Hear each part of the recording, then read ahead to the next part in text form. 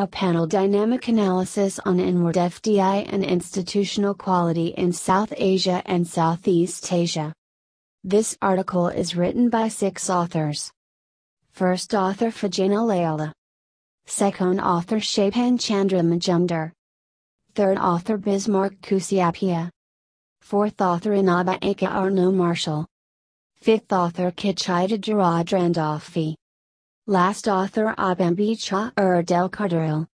Contribution and originality of the study is that, this study helps the policymakers to understand the loopholes of institutional quality such as political instability, inefficiency bureaucracy and corruption which may deter the smooth FDI inflows in the regions and take corrective actions against corruption. It will also allow for future analysis about the FDI inflows in a country.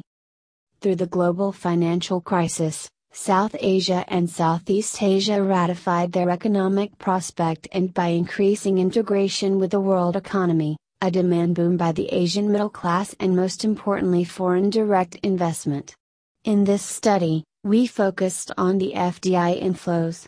This study examined the impact of institutional quality on FDI inflows in South Asia and Southeast Asia from 1986 to 2016 using a panel based approach.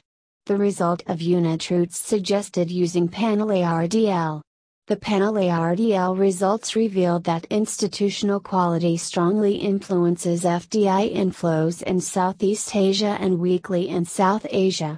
Our findings also revealed that economic factors are strongly significant in South Asia and institutional variables are strongly significant to attract FDI inflows in Southeast Asia.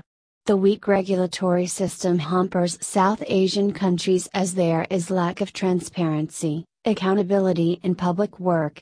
Therefore, this study suggests South Asia learn a lesson from Southeast Asia and make an improvement to their institutional quality. Thanks for watching this video of Asian Economic and Financial Review Volume 10 Issue Number 6.